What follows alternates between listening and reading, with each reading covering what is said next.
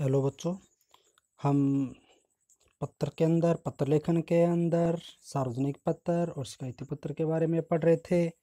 पीछे भी हमने पत्र के अंदर अध्ययन किया था मोहल्ले की वर्ष, मोहल्ले में वर्षा के कारण उत्पन्न हुए जल भराव की समस्या के बारे में जिससे आपने अच्छी तरह से लिख कर लर्न कर लिया होगा।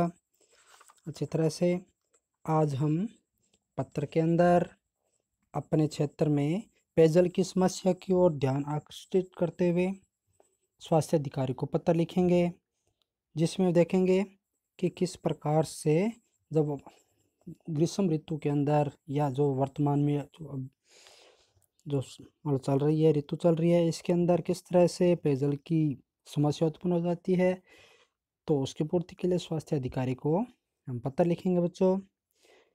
तो प्रेषक, सबसे पहले हम प्रेषक के रूप में लिखेंगे, जिसको हम लिख रहे हैं बच्चों तो यहाँ जिस दिए हुए एड्रेस के आधार पर हम पत्र लेखन करेंगे, जिसमें जो अहमदाबाद के अंदर जो स्वास्थ्य अधिकारी है, उसके पत्र लिखते हुए जो भेजने वाला है तो वो अहमदाबाद का, पटेल नगर का, भारत भूषण तो इस तरह से लिखेंगे। और पटेल नगर, अहमदाबाद, और पत्र लेखन ये पंद्रह मार्च 2019 को किया गया है तो हम अपने यहाँ पर आज की डेट भी डाल सकते हैं। उसके आधार पर जिस तरह से आज 8 अगस्त 2020 और जिनको लिख रहे हैं, सेवा के रूप में उनको संबोधन करेंगे। सेवा में कार्यकारी अभियंता, जल विभाग, अहमदाबाद।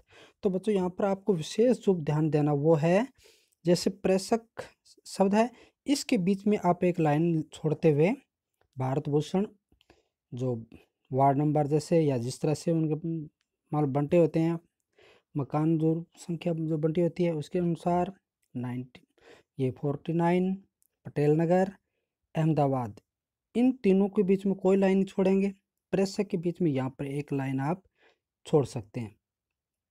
फिर तीन के बाद जो जो लिखा है आपने एड्रेस और दिनांक तक यहाँ आने के बाद में भी आप जो दिनांक लिखते हैं, उस दिनांक के बाद यानी कि चार लाइन, यानी भारत भूषण उनचास पटेल नगर अहमदाबाद, दिनांक, जो आज के हम जैसे डालेंगे तो आठ अगस्त 2020 यहाँ चारों लाइन एक साथ लिखते हुए, फिर इसके बीच में एक लाइन आप छोड़ सकते हैं, फिर आगे शुरू करेंगे सेवा में कार्यकारी अभियंता, जल विभाग, अहमदाबाद। फिर बच्चों, इसके बीच में भी यहाँ पर एक लाइन आप छोड़ सकते हैं। एक लाइन यहाँ पर मान लो छोड़ सकते हैं। इस तरह से लाइन छोड़ते हुए आएँगे। फिर हम आगे चलेंगे। महोदय तो इसके बाद में आप जैसे मान लो लिखना शुरू किया तो यहाँ आप इसके बीच में कोई भी लाइन आगे नहीं छोड़ेंगे आप। यानी यहाँ पर लाइन छोड़ने के बाद में जैसे आपने यहाँ पर लाइन छोड़ी उसके बाद में बच्चों लाइन आपको नहीं छोड़नी। सेवा में कार्यकारी अभियंता, जल विभाग, अहमदाबाद, फिर इसको लगातार आप क्रम से लाइनों के अंदर लिखते जाएँगे। और जिस तरह से अपने यहाँ पर जो आसिया बोलते हैं तो एक लाइन अपनी नोटबुक के अंदर होती है या एग्ज़ाम बुक के अंदर होती है तो इसके बिल्कुल पास में लाते हुए जिस तरह से लेखन करेंगे, फिर कंटिन्यू आप लिखते जाएँगे। महोदय मैं पटेल नगर का निवासी हूँ तथा पटेल नगर सुधार समिति का अध्यक्ष हूँ। मैं आपका ध्यान लगातार होने वाले पेयजल की कमी की ओर आकृष्ट करना चाहता हूँ। पिछले कई महीनों से दिन भर में एक आध घंटे के लिए जल आता है और जो लोग दूसरी तीसरी मंजिलों पर रहते हैं, उन तक जल पहुँच ही नहीं पाता।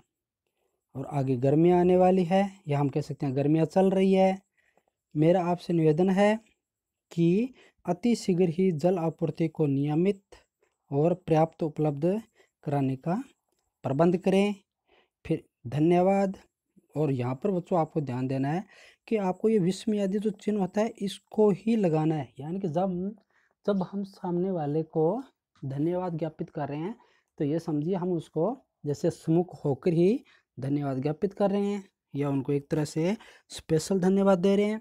तो ये एक तरह संबोधन, जिस तरह संबोधन के साथ विस्मयादि चिन्ह लगाया जाता है, उसी प्रकार से यहाँ धन्यवाद के अंदर भी हम विस्मयादि चिन्ह लगाएँगे बच्चों। फिर आगे चलिए। फिर जिस तरह पत्र लिखने वाला तो भवदीय कौन होता है? तो पत्र जो लिखता है या जो जिसका सामने वाले को अपनी विनम्रता हम प्रकट करते हैं। और अपना जो पत्र लिखने वाला होता है, उसका नाम लिख लिया जाता है यहाँ पर। यहाँ पर फिर उसके बाद में बच्चों, उसका एड्रेस लिखना कोई ज़रूरी नहीं होता क्योंकि हम प्रेषक के रूप में सबसे पहले हमने लिख चुके हैं।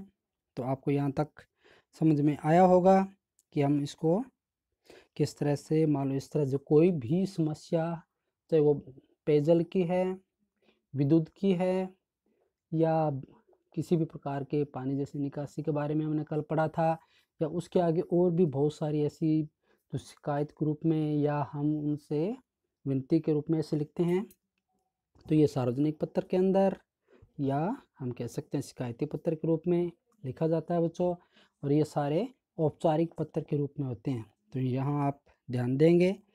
नेक्स्ट देखिए बच्चों। फिर आगे हम पत्र एक और पत्र के अंदर करेंगे।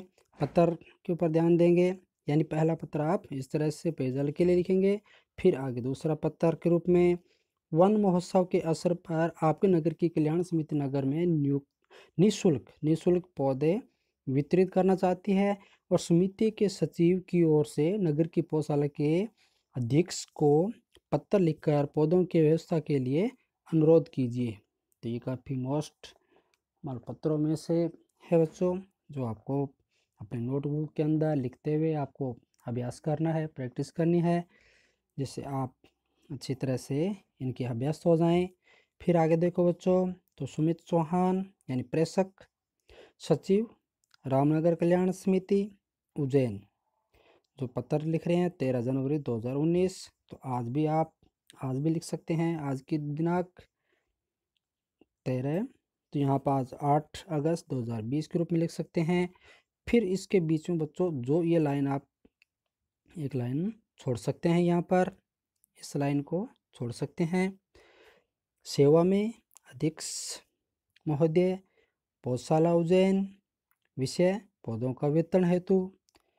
सम्माननीय अध्यक्ष महोदय या सम्माननीय महोदय, मैं रामनगर कल्याण समिति के सचिव की हैसियत से आपसे निवेदन करना चाहता हूँ कि हमारी समिति नगर में हरियाली को बढ़ावा देने के लिए पौधा वितरण अभियान चलाना चाहती है और इसमें हमें आपके सहयोग और आशीर्वाद की आवश्यकता है। हमने लोगों को अपने घरों मोहल्लों और आसपास के पौधे लगाने और उन्हें बड़ा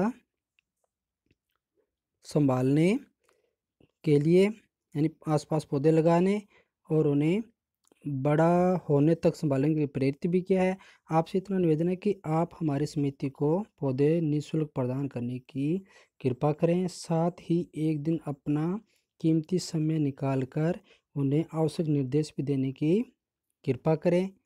आपके पत्र और सहयोग की प्रतीक्षा में भी हम आपको इस तरह से आपको पत्र लिख रहे हैं, निवेदन कर रहे हैं। मान लो सार्वजनिक रूप से तो इस तरह से बच्चों जो भी एक मोहल्ले के लिए या एक शहर के लिए या एक किसी भी बस्ती या मान लो किसी भी क्षेत्र के लिए अगर हम इस तरह से पत्र लिखते हैं तो ये सार्वजनिक रूप से पत्र के रूप में होते हैं बच्चों। और भवदीय सुमित चौहान जो गौशाला उज्जैन के लिए लिख रहे हैं। तो इस तरह से बच्चों आप अपने पत्र लेखन करेंगे तो आपको ये दोनों पत्र समझ में आ गए होंगे अच्छी तरह से। और आप अपनी नोटबुक के अंदर इस वर्क को करेंगे और अच्छी तरह से ध्यान देंगे बच्चों। ये पत्र आपको अच्छी तरह से आने चाहिए और आगे जो भी टेस्ट होगा, उसके लिए आप लर्न भी करेंगे और कल आपका टेस्ट हो सकता है। टेस्ट हो क्या सकता है? कल टेस्ट होगा आपका।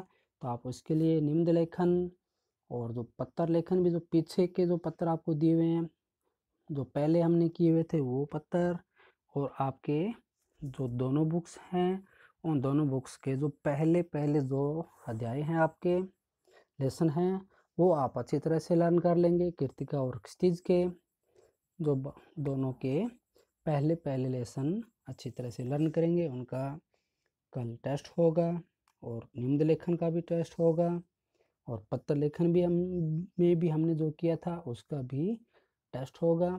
तो अच्छी तरह से अभी से लेकर आप अपना अध्ययन करेंगे, आप अच्छी तरह से लर्न करेंगे और अपना अधिक से अधिक जितना कार्य आपको रिटर्न के लिए दिया जा चुका है या जो आपको वर्क मिल रहा है, आप उस उनको साथ साथ में लिखते रहिए, सुंदर राइटिंग के अंदर, लिखावट का ध्यान रखेंगे, मात्राओं का ध्यान रखेंगे आप और आगे जैसे भी आपकी नोटबुक सैटरडे को आपसे मंगवाई जाए तो आप ज़्यादा से ज़्यादा अपनी नोटबुक भेजेंगे बच्चों। जय हिंद।